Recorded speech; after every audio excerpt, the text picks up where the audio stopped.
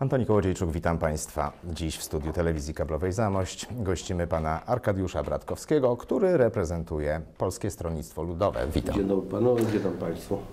Pana Mariusza Grada, reprezentującego Platformę Obywatelską. Dzień dobry, witam serdecznie. Oraz Sławomira Zawiślaka, który reprezentuje Prawo i Sprawiedliwość. Witam Państwa, dzień dobry. Drodzy Państwo, zbliża się okres wyborczy, tak to ujmijmy. Zwyczajowo spotykamy się. Mnie to osobiście cieszy, że w tym samym gronie chciałbym zapytać, czym panowie mogą się pochwalić w tej ostatniej kadencji. I tutaj kolejność jest przypadkowa, ale skoro rozpoczęliśmy od pana marszałka, to bardzo proszę, pan ma też na swym koncie jakieś dokonania, które chciałby pan naszym widzom z pewnością przedstawić. No powiem tak, jestem w trudnej sytuacji. Panowie są obecnie posłami, ja jestem w zarządzie województwa lubelskiego, ale też mam swoją historię. Marszałek województwa i poseł, i poseł do Parlamentu Europejskiego. I skoro mówimy o chwaleniu, trzeba się pochwalić tym, że będąc w Parlamencie Europejskim, to ja głosowałem za tym budżetem na lata 14-20.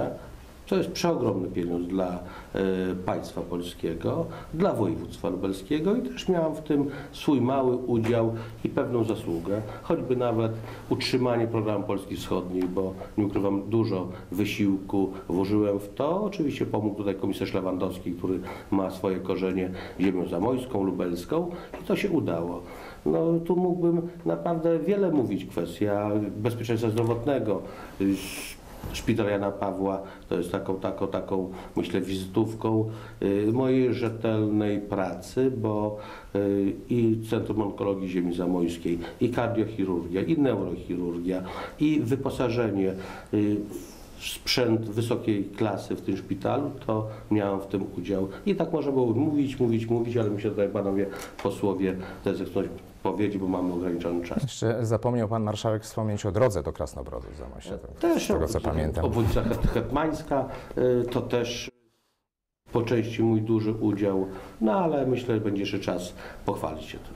Panie pośle, ma pan Trudno. swoje dokonania, no, walczył pan Trudno, trudno się chwalić, ale jeżeli pan redaktor z materią bardzo złożoną, przepraszam, że jeszcze było, i PKS był pan zaangażowany, no wyszło jak wyszło, ale jest się chyba Ja też podobnie czym jak pochwalić, e, prawda? poseł Sławomir Zawiślak nie lubię się chwalić, no ale jeżeli pan redaktor nalega, to, to też wymienię kilka kwestii. Oczywiście wspierałem e, wspólnie z prezydentem e, Zamościa szereg inwestycji związanych choćby ze środków unijnych. Wspieraliśmy też e, budowę oddziału celnego, budowę sądu, ale wydaje mi się, że najistotniejszą kwestią i to taką na dzień dzisiejszy jest kwestia zatwierdzenia 8 września przez rząd polski decyzji o budowie drogi szybkiego ruchu z Piask do Chrebennego. Jest to, wydaje mi się, najistotniejsza e, inwestycja na najbliższe lata. Ona rzeczywiście będzie oknem na świat Zamojszczyzny, Zamościa, Tomaszowa Lubelskiego, bo droga szybkiego ruchu na pewno otworzy nam szereg możliwości gospodarczych, czyli ja jestem przekonany, że wybudowanie drogi szybkiego ruchu, a to już jest decyzja, to nie to, że jakiś plan, tylko decyzja o budowie, e, przysporzy nam e, nowych inwestycji, bo bardzo ich potrzebujemy. Podstrefa zamojska potrzebuje e, inwestorów i na pewno decyzja o budowie drogi szybkiego ruchu z Piast do Chrebennego, czyli de facto przez Zamość, obok Zamościa, przysporzy nowych inwestycji i nowych miejsc pracy. Druga sprawa, na pewno też y, będzie to wzmagało ruch turystyczny, który jest bardzo istotny dla Zamościa, bo Zamość z turystyki w dużej mierze żyje. Jeżeli turyści z Warszawy będą mieli już drogę szybkiego ruchu z Warszawy aż do Zamościa, aż do granicy państwa, to na pewno chętnie będą tutaj przyjeżdżać. Y, Inwestycja jest zaplanowana na lata 18-22, czyli mamy raptem dwa lata czasu, żeby ją przygotować. Przygotować znaczy uzyskać pozwolenie na budowę i wykupić grunty. Ten proces, na pewno Państwo wiecie, y, trwa i dwa lata rzeczywiście jest na, na tego y, typu działania, tego typu decyzje. Także będzie to wielkie wydarzenie, wielkie rozwiązanie y, dla Zamościa, ale też i całej Zamośćczyzny. W ostatnim czasie to bezpośrednio może nie dotyczy mieszkańców Zamościa, ale już jest decyzja o budowie obwodnicy Tomaszowa. Dokładnie y, 30 września zapadła decyzja o ogłoszeniu przetargu, czyli jest ogłoszony przetarg na budowę obwodnicy Tomaszowa. Dla ludzi, którzy z Zamościa jeżdżą na Ukrainę, to będzie dodatkowy atut, że będzie można szybko przejechać już nie przez Tomaszów, ale obwodnicą Tomaszowa. Szereg spraw, każdy z nas e, parlamentarzystów czy osób e, publicznych, tak jak pan marszałek, zrealizowaliśmy wspólnie oczywiście z samorządami, wspólnie z organizacjami pozarządowymi, różnymi podmiotami, które działają w życiu publicznym, ale to nie o to chodzi też, żeby to wszystko wymieniać. Pan Sławomir Zawiślak ma z pewnością duży udział w zwycięstwie w wyborach samorządowych Prawa i Sprawiedliwości w samym Zamościu. Tak, y, dziękuję za, ten, za tą opinię. Myślę, że rzeczywiście sporo pracy też włożyłem wcześniej, żeby pokazać te elementy funkcjonowania samorządu Zamościa, które nie spełniały oczekiwań miasta, y, mieszkańców miasta. Chociażby niezrealizowane obietnice w budżecie bardzo wielkim, corocznie uchwalanym przez 9 lat w wysokości bez mała miliarda złotych, a w wy, wy, wyłożonych pieniądzach 220 milionów na inwestycje, głównie na terenie, y, terenie Starówki, ale tak w zasadzie to ja tu powinienem, jako rzeczywiście nie lubiący się chwalić, tylko słuchać z urzeczeniem tych sukcesów, które y, pan poseł i członek zarządu województwa przez te 8 lat y, na naszym terenie sprawili, ale w obliczu tych środków, które były z Unii Europejskiej, z wielkich innych źródeł, może później jeszcze o tym wspomnę, no to powiem tak, no trochę bledzieńko, jak to mówią, po naszemu. Bledzieńko, czyli trochę słabo, trochę słabo. Trochę słabo. Y, No, jeżeli pan marszałek ocenia, że to Polska w ruinie, no, Powtarza ja się- słowa, no, ja się powtarza tylko- słowa pana ja ugrupowania. się tylko mogę zgodzić, ale to są słowa pana marszałka.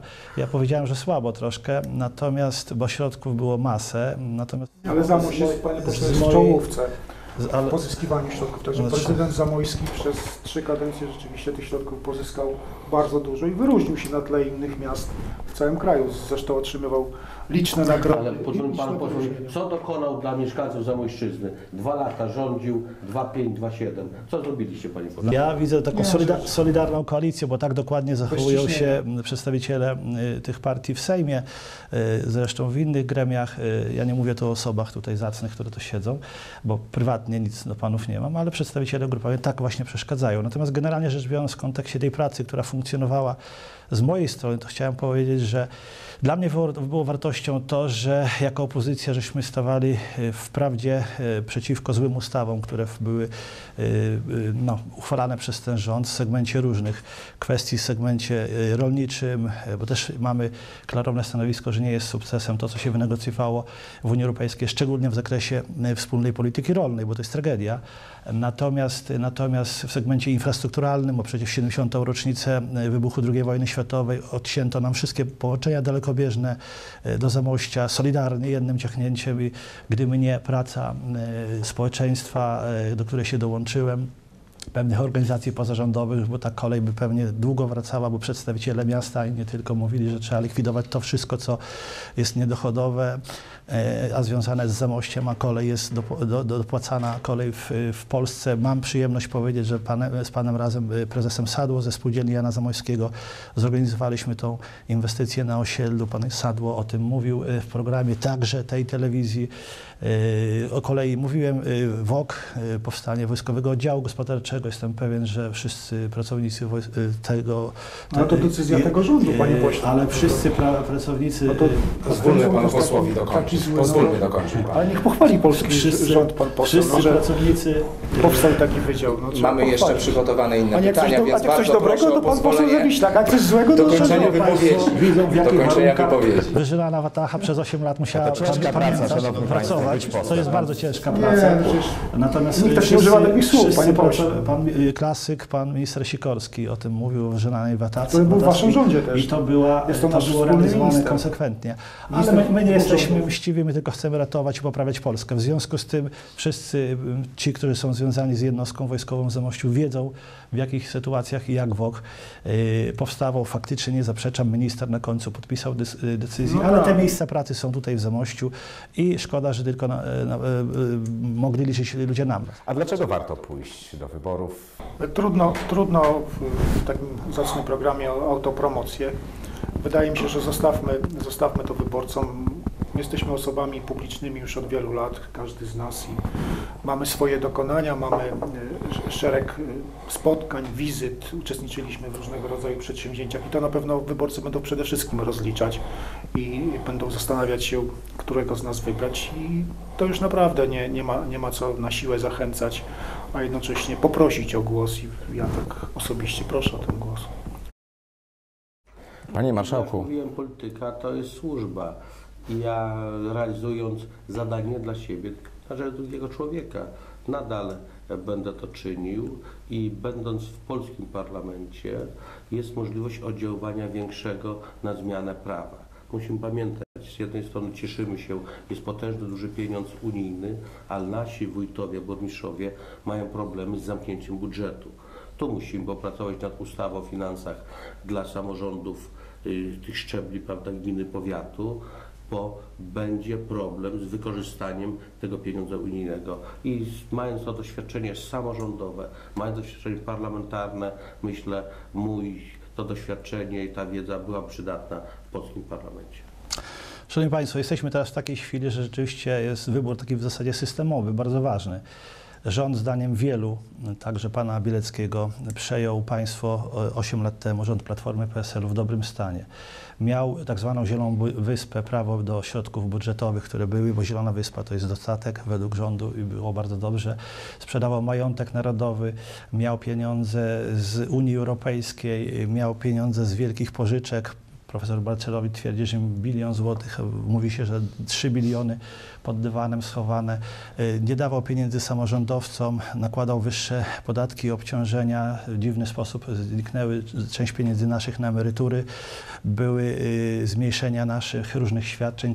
Kraj, powinien być mlekiem i miodem płynący. Ja wymieniałem tylko część możliwości finansowych które e, można było wykorzystać. W związku z tym, skoro mieszkańcy teraz w wyborach do, preze- na prezydenta stwierdzili, że nie jest dobrze, a przecież no nie jest, jeżeli ma, mamy sły- słynne taśmy, gdzie mówi się, że państwo polskie tylko istnieje teoretycznie. Teraz się szuka tych, którzy nagrywali, a nie wzorem węgierskim. Nie rozlicza się tych, którzy, którzy, którzy sprawili, że jesteśmy w takim stanie, to trzeba teraz zdecydować, co zrobić. Y, Prawo i Sprawiedliwość ma listę dobrych kandydatów, którzy mają program. Mamy y, jedyni od wielu lat program y, rolny zamieszczony na stronach także internetowych, program gospodarczy.